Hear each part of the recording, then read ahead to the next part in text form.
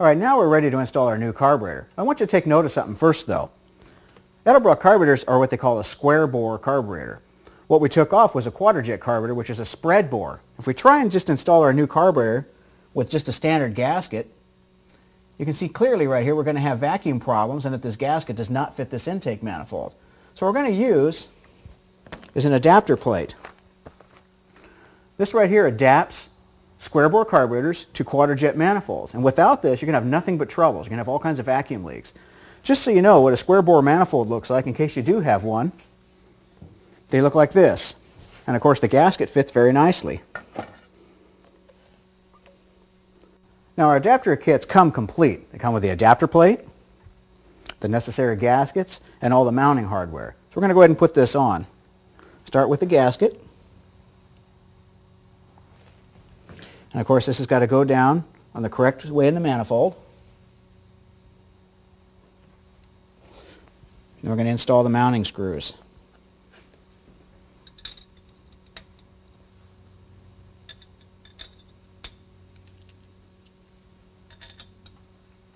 When you're tightening these, don't cinch one down and then the others.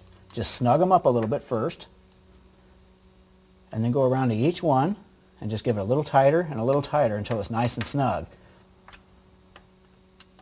All right, next we're going to install the four mounting studs.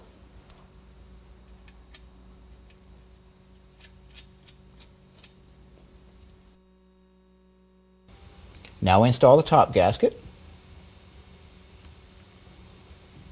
And we're ready to drop the carburetor on. But before you do, just kind of give it a once over. Make sure there's no packing debris inside or anything like that.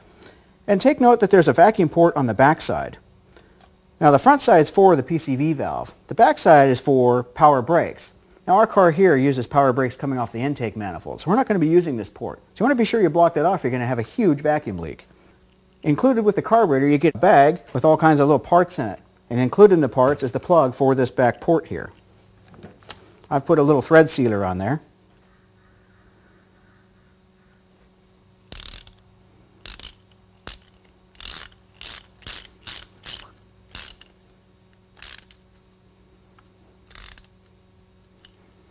Once that's done, we're ready to drop it on.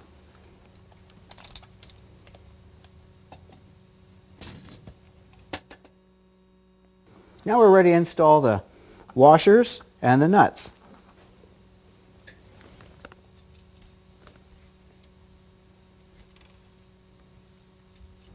Once those are all on, we give them a snug down with a wrench. And again, don't just cinch down on one and not the others. Just go around evenly and give them all a little bit of hand tightness. Sometimes it's a good idea to go in a cross pattern and just a little tighter each time until they're snug down. Now the carburetor's on, we're ready to do the fuel lines. Well, the first thing we want to do is get rid of the old fuel line. They get old, dry, and cracked, and you're just asking for a leak. So we're going to get rid of that first. Now to help make your installation go smooth and easy, we offer a universal fuel line kit. It's a part number 8135. And what comes in this kit is a fuel filter. We have the rubber fuel line. We have two different size ferrule fittings to go onto your existing steel line coming from your fuel pump. We have a 5 16 and a 3 8 and of course all the hose clamps that you'll need. We do offer a filter with two different size of nipples on it for 5 16 or 3 8 Now the trick is you don't want to try and take a 5 16 fuel line and shove it on the carburetor as hard as you can and try and get it on there. All you're doing is ballooning this out and you're just asking for a fuel leak. Fuel leak and a hot exhaust don't mix real good. You're asking for a barbecue. So make sure you're using the right size fuel lines for your vehicle. Now this car is equipped with a 3 8 steel fuel line coming from the fuel pump. So we selected a 3 8 ferrule fitting that's supplied in the kit. And basically these are just a nipple for the rubber fuel line to attach to and a crush sleeve inside that seals around the steel fuel line. So we start by taking the nut and ferrule assembly, slipping it over the steel fuel line. Make sure it's on good. Then we simply screw in the, the fitting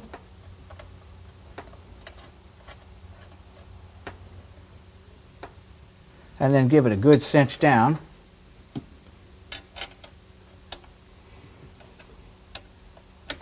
and that'll prevent any leaks.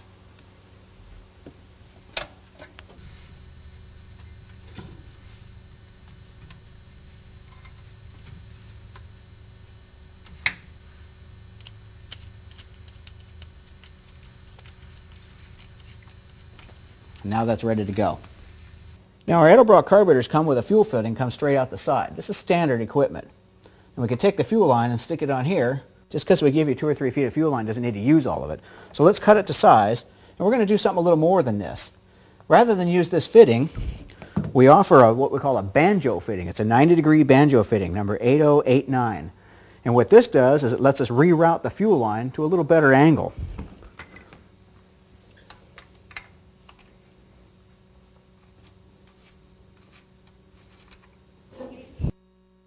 Now what comes in the kit is a banjo fitting and a couple of gaskets. So what we're going to do is place a gasket on one side, put the fitting on, and place the second gasket on the other side.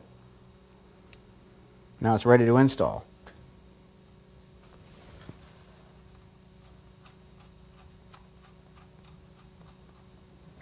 And we'll just give that a little cinch. You don't want to over tighten these. Just good and snug. It's plenty fine. Now we'll be able to route the fuel line up underneath and straight up in. So we're going to cut it to size.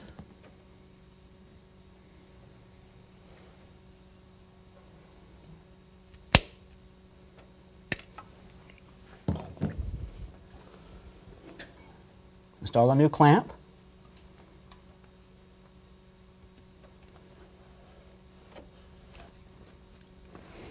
Put it on and give it a tighten. Now you want to be sure that your fuel line doesn't interfere with any linkages over here. Ours goes underneath and around and doesn't interfere with anything. So that's all nice and routed really good. Something very important about installing a new carburetor, our Edelbrock carburetors do not have built-in fuel filters. Some OEM carburetors and even some aftermarket carburetors have filters built in. And I can't stress enough how important a fuel filter is. You've got old rust scale in the gas tank, you've got old fuel lines, sometimes they rust, sometimes the neoprene lines disintegrate and little pieces come out. And you really need to filter that stuff out because if it gets in the carburetor, it'll cause the needle and seats inside to get clogged up and the fuel won't be able to shut off and it just starts flooding all over the place. So we really need to install a good fuel filter. Now mind you, before we start, fuel filters are directional. So if you look on the end of it, it'll say in on one side and there's nothing on the other. So it lets you know that this side is the inlet. So when we place it in there, we want to be sure that the fuel pump is flowing this way to the carburetor. So we'll come in and find a place on the fuel line here to place this fuel filter. I kind of like this spot right here. Now in your car you might find another location, but this for our car, this is a nice spot.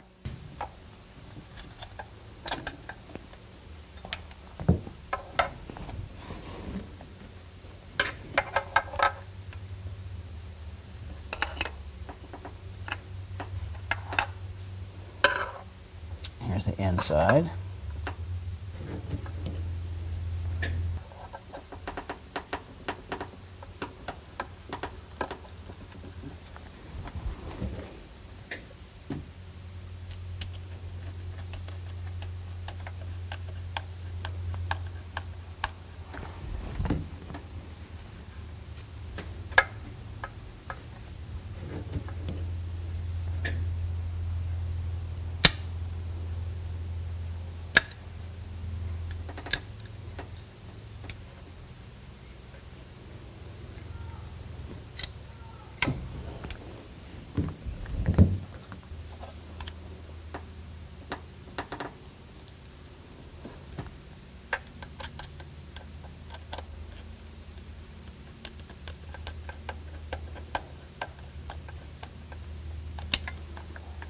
And just make sure that tuck's out of the way so it doesn't interfere with any linkage or any electrical items or anything like that, and everything should be good.